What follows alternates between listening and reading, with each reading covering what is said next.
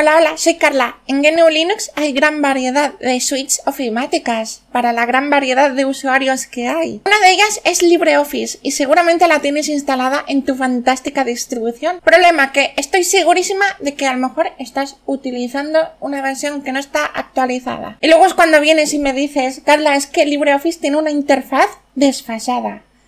Claro, por supuesto. También puede ser que quieras evitar la instalación a través de snaps o a través de Flatpak. Entonces yo también te enseñaré cómo hacerlo con paquete Debian. Y sí, será la versión, la última versión, recién sacada del horno y fresquita. También te mostraré algunos truquitos que puedes hacer si utilizas KDE Plasma.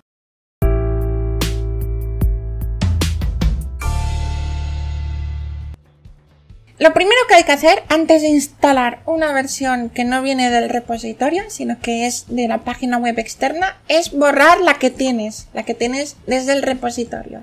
Entonces, ¿cómo hacemos esto? Con un gestor de paquetes. Si utilizas un escritorio basado en GTK, pues puedes utilizar Synaptic. Y si utilizas uno basado en Qt, Qt, en Qt, puedes utilizar Muon, que es el que voy a utilizar yo. Para ello abriré el gestor de paquetes de Muon y aquí buscaremos el LibreOffice.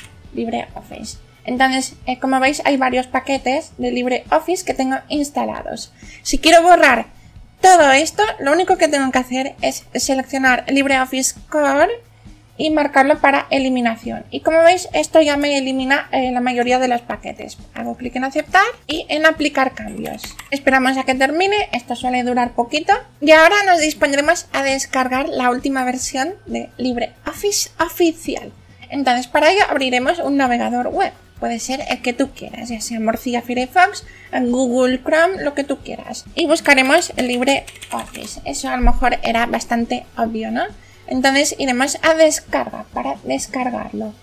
Seleccionaremos Linux, en la versión DEM de 64 bits y lo descargamos. Se nos descargará esto. Esto es un DevTarGZ y dirás, bueno Carla, ¿y cómo se instala esto? Pues ahora lo vamos a ver, es muy sencillo. Si no te importa eh, usar una versión inglesa, pues ya está, es lo único que tienes que descargar. Pero si lo quieres en español, que estoy segurísima de que lo quieres en español, pues entonces tendrás que descargar también el Language Pack en español. Para ello iremos atrás a la página anterior y como veréis aquí pone eh, interfaz de usuario traducida en español. Pues la descargaremos. Como veis también es un, un TAR-GZ. ¿Cómo se instala un TAR-GZ? Pues igual que un archivo RAR o igual que un archivo zip. Descomprimiéndolo y luego ya dependiendo de lo que hay adentro procederemos. Seleccionaremos ambos archivadores y en extraer lo extraeremos en la carpeta que estamos usando. Nos aparecerán dos carpetas, que son estas dos, de estos dos archivos. Empezaremos con la primera, que sería el LibreOffice, el, digamos el programa. En ella habrá dos carpetas, dos subcarpetas, entraremos en la que dice devs. Entonces aquí hay muchos paquetes. Todos estos paquetes hay que instalarlos y dirás, bueno, ¿cómo se instalan estos paquetes Debian? Bueno, la manera más fácil sería seleccionar una, clic derecho y abrir con GDB Package Installer. Pero esto es un rollo porque entonces tienes que hacerlo de uno en uno y como que hay 42 y como que no vas a hacer eso, ¿no? Los quieres instalar de golpe. Pues un pequeño truco que a lo mejor te servirá más adelante eh, si eres un usuario recién llegado a esto, pues un pequeño truco que a lo mejor te va a gustar muchísimo. Y es que si abrimos un terminal en la carpeta que estamos usando en esta, hacemos clic derecho, abrir un terminal aquí, lo que podemos hacer es instalar todos los paquetes de golpe escribiendo sudo, esto siempre hay que hacerlo porque necesitas derecho de administrador, y escribir dpkg, que es el gestor de paquetes, con el parámetro i para instalar, y le pones una estrellita, eso significa todo.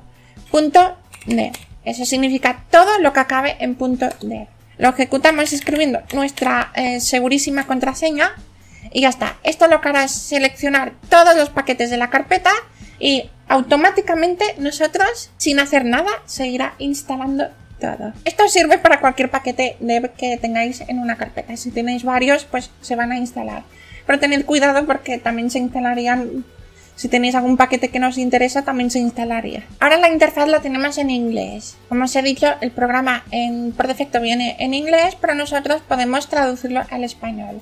Entonces, para traducirlo al español, tendríamos que ir a la otra carpeta, a la otra carpeta que hemos extraído, y hacer lo mismo. Vamos a la subcarpeta devs y abrimos un terminal aquí. Entonces ejecutaríamos el mismo comando para instalar, eh, digamos, el programa, pero el paquete en español. Esto lo que hará es que la interfaz esté en español, pero el diccionario también. Es decir, si sueles cometer erratas mientras escribes, esa cosa que tengo ahí se está encendiendo y apagando, no sé por qué. Si cometes erratas mientras escribes, entonces el programa te lo irá corrigiendo. Como veis ahora el programa ya lo tengo en español, como podéis observar en el vídeo. Hay gente que ve esto, esto, y no le gusta. ¿Por qué? Porque está con el estilo por defecto. Tú lo puedes personalizar un poco. Por ejemplo, los iconos, si no te gustan los que hay por defecto, pues bastará con ir a herramientas opciones y entonces aquí seleccionaremos en, la pestañita de ver eh, seleccionaremos un icono diferente. A mí los que me gustan eh, personalmente son los de Elementary y los de CFR. Por ejemplo, Elementary son iconos que se ven bastante bien, bastante bonitos y eso como que ya mejora bastante el aspecto visual. Hay gente que le gusta así, como barras clásicas, pero hay otras personas que prefieren pestañas. Pues entonces nos iríamos a ver y en interfaz de usuario seleccionaríamos en pestañas. Esto hará que sea más similar a Microsoft Office por el tema de las pestañas. El menú de arriba también se puede mostrar u ocultar. Simplemente haciendo clic en este icono puedes mostrar o ocultar la barra de herramientas superior. Quizás te preguntes cómo me gusta a mí la interfaz de LibreOffice. Pues me gusta más bien la barra de tareas en contexto. Es decir, me gusta mostrar la barra de menús y al mismo tiempo, en la barra de herramientas, eh, yo personalmente prefiero esta de aquí, la contextual.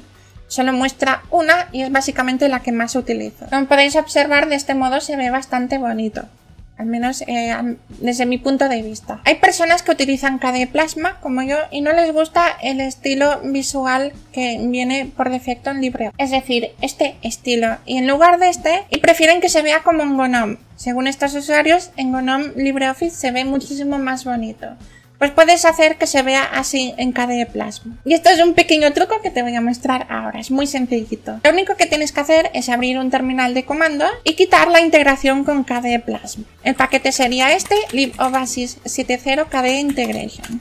Entonces este paquete lo quitamos entonces lo que estaríamos quitando es la integración con KDE Plasma. A continuación en el menú de aplicaciones hacemos clic derecho y editamos. Entonces lo único que tendríamos que hacer es crear un elemento nuevo y le llamaremos LibreOffice GTK. Entonces la orden en este caso no sería LibreOffice y ya está, sino que tendríamos que ejecutar userbin m para ejecutar eh, variables de entorno getcatem adwaita dos y entonces LibreOffice. Nos faltaría seleccionar un icono, podéis eh, seleccionar el icono que queráis. Este icono me gusta bastante, aunque no sea de LibreOffice, pero bueno.